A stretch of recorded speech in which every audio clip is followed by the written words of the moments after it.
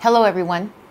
My name is Teresa Konrath and I'm the athletic director at Marathon High School. To give you a little background about me, in 1993 I moved to Marathon where I married my husband Greg Konrath. This is where I started my family and I call it home. I absolutely love the fact that I moved to Marathon and had the opportunity to work at this school for 27 years as a teacher and 12 years as an athletic director. I'm pleased to be able to serve the kids and the community. It was my passion. The new subject now is the sports complex. And that's an interesting story simply because it started out as a running track. We were offered a simple running track here and that wasn't good enough for our kids. So it took a lot of talking, it took a lot of convincing. It came about when I had a couple of kids walk into this office and say, hey, can we start a track team? And I said, well, that's gonna be impossible because you need all of these little items and certain areas that you need to practice in and you know, we can start it out in the cross country area because of course we had great cross country runners, but what about the sprinters and what about the field events? Well, we did it. We went our first year to a district meet and we won the meet. Another phenomenal memory is when the girls soccer team went to the Final Four. We were lucky enough to host that game here at Marathon we had 849 tickets sold that night. The biggest part that I enjoyed was the fact that both of my daughters, Taylor and Sydney, played on the team.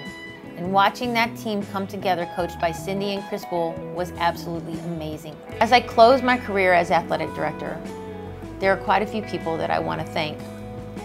These guys were a big part of why I had success for the last 12 years. I want to begin with Louis Gonzalez, Spook Rusin, and the entire Booster Club, John and Sandy Grouton. Also, Mike Puto. Mike Puto and Kay Graddick. Kay Graddick was my biggest supporter. She was a female, and she loved the fact that I was a female in a man's job. She was absolutely amazing. Every word that came out of her mouth was positive and, and just for the kids. And I kind of looked at her as a mentor also, simply because she was such a wonderful person. Now, Mike Puto has been a big supporter too. He's in charge of the Athletic Alumni Club. There are many things that Mike does for our school that is along the lines of just finding it and making it happen. He's responsible for a lot of the travel when we go to the next levels. Mike, I love you and I think you're absolutely amazing and I want to say thank you to you. My trainer, Louis Leal, my best friend on campus, my best friend always. No matter what happened, no matter what went on, he was always there to either pick me up, brush me off, or walk along beside me. All of the administration, I want to start with John Pertner who hired me, Harry Russell, Fred Culver, as well as my favorite, Wendy McPherson. I want to say thank you to you guys because you listened to what I had to say and you let me do my job like I needed to. Thank you so much for your support and for your trust. Most of all, I want to say thank you to this community. This community has been my number one backers from day one. They know that I'm going to go do, go do the job. Every element of this community has helped out. I can't even begin to say thank you to everyone individually because there's so many of you. There's another couple in town that I want to say thank you to and that is Jim and Arlene Keeney, for all of the support you've given me. Jim, thank you for allowing me to come over and guiding me. I appreciate everything that you've done for me. And let me not forget the Sayer family. Ginger Sayer, without the work that you have done with the Seven Mile Bridge Run, there's no way this program could continue the way it is. Ginger, Maggie, Bobby and Chuck Bayless, Denise and Chris, you guys are amazing. There's a whole nother group of people that I need to recognize, and that is all the faculty members that I have worked with. Thank you so much to all of you for supporting the schedules that I've put out to you, for supporting the kids that have missed your classes, for supporting all the kids that just needed your help. Tina, thank you for supporting the athletic department and getting those kids going. Thank you to all my coaches. My coaches are the most amazing part of my job. And with that being said, I want to show you my favorite award. This award was given to us because we were the best athletic department in both 3A and 4A high schools in the state. This award isn't for me. This award says volumes about the team that I work with. And that is all my coaches that have come through and have done their jobs with their kids. This says you're the best, and they are. I feel that Lance is the best selection for the entire program. I'm looking forward to what he can do with the program, and I'm excited to be able to work with him. Well, yeah, a are big shoes to fill. She's been a very successful athletic director and coach for the last 12 years. She's taken this program uh, to the next level in many different aspects when it comes to getting our kids to states and our own coaching with basketball. And uh, you know, I'm just hopeful to be as successful as she was and uh, continue to lead this athletic program, especially with the new facilities we have coming to the next level. This is Tina Bellotti. Tina and I started in this school years ago when it was the old school. And she's another one that has a daughter that works here at school and we see that legacy carried on. Tina is an intricate part of all of our students' lives. Just take a pan around, look at the prom dresses. She brings those prom dresses in for the kids. She feeds them, she clothes them. She does a wonderful job, she counsels them. Tina is the root to a lot of success that our kids have. This is my best friend. He's been my best friend since I've been here. He's the one, like I said, he would pick me up, brush me off, pat my back, and make sure I had everything I need throughout all my time as athletic director. He's the guy. Love you, Lewis. this is Jamie Byoff, my current cheerleading coach, and this is Jessica, Jessica Richard, and she is my former cheerleading coach. So both of them I had the privilege of working with. This is Jamie Lugo Robertson. She is actually a former basketball player of mine, but now we work together. She helps me with the park situation. When we have two or three soccer games at a time, I have to go to Jamie and ask to borrow their park field. Well, just recently, we have construction going on in the back with our softball field. So we had to move all of our regional games over to the city park. Jamie's the one that helped me do this. Jimmy Schmidt is the one that has helped me throughout all the years, and I believe that Jamie is helping him in this capacity as well, and she has done a marvelous job. The beauty of this is, is she was one of my students and now I'm working with her. You can't ask for more than that. so this is Mr. Freeman. Mr. Freeman has been here for years, almost as long as I've been here.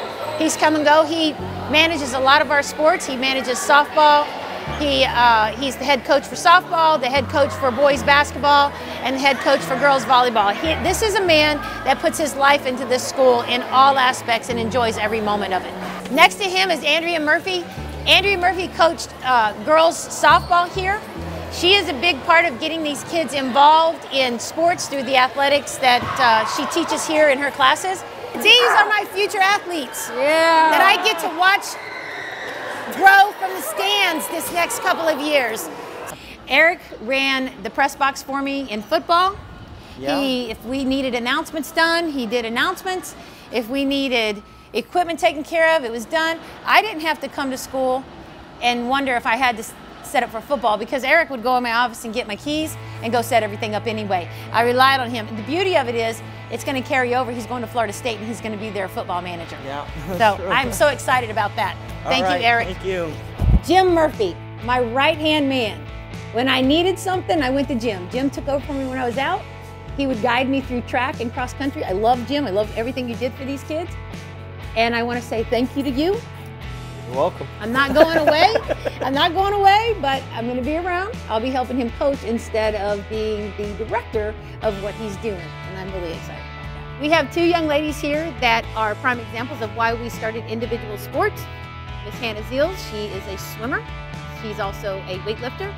And I believe, did you participate in cross country one year? Track. Track. Okay, and then I have Miss Oriana here, who is my three-time visitor up in the state championship for weightlifting.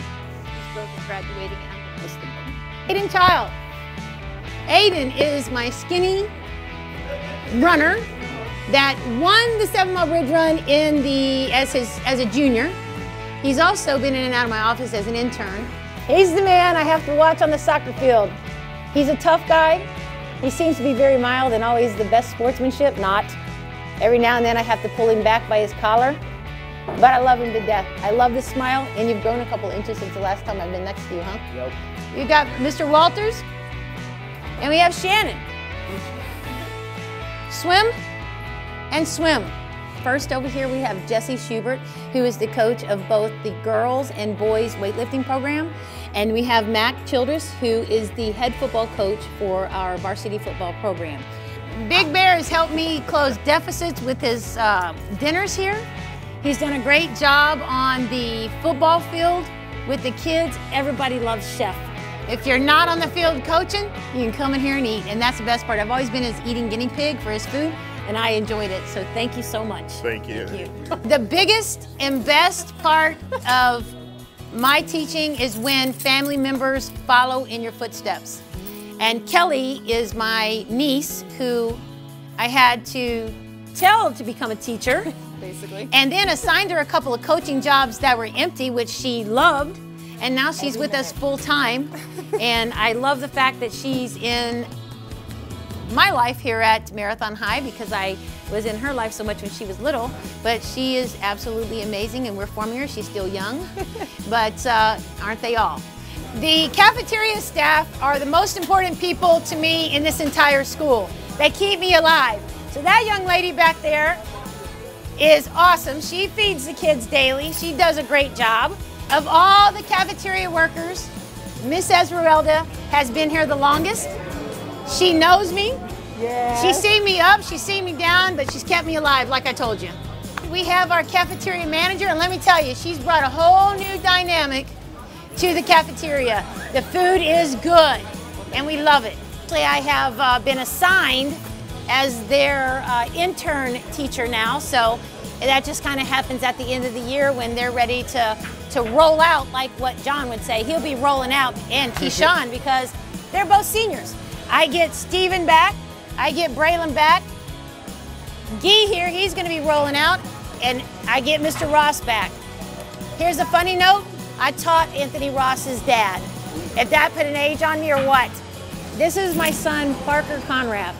He is the last of my children that are coming through Marathon High School.